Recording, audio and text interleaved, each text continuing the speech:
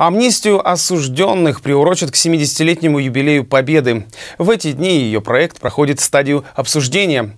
Это, пожалуй, одно из самых ожидаемых событий в местах лишения свободы, в том числе и в Архангельской области.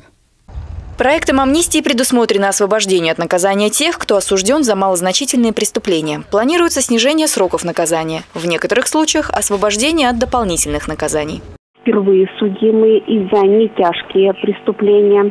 Э, возможно, по опыту прошлых лет амчистия в честь победы коснется ветеранов войны, боевых действий, те, кто участвовали в чеченской войне, инвалиды, пожилые люди, женщины, э, несовершеннолетние, женщины, имеющие детей.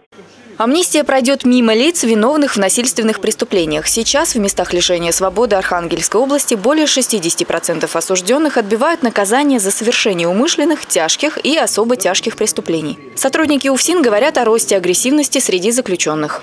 В нашей области за прошлый год было зарегистрировано 4 случая угрозы применения насилия по отношению к сотрудникам администрации, которые предъявляли законные требования – и на эти законные требования осужденные не отвечали. И вот по всем этим четырем фактам были возбуждены уголовные дела. Если предложения будут приняты, то впервые в нашей стране пройдет и административная амнистия в отношении штрафов и в отношении лишения специальных прав. В нашей области претендовать на освобождение могут порядка тысячи человек. Из них 916 состоят на учете в уголовно-исполнительной инспекции. Их наказание не связано с лишением свободы. Около 80 человек отбывают срок в исправительных учреждениях. Всего же в колониях области более 9 тысяч заключенных.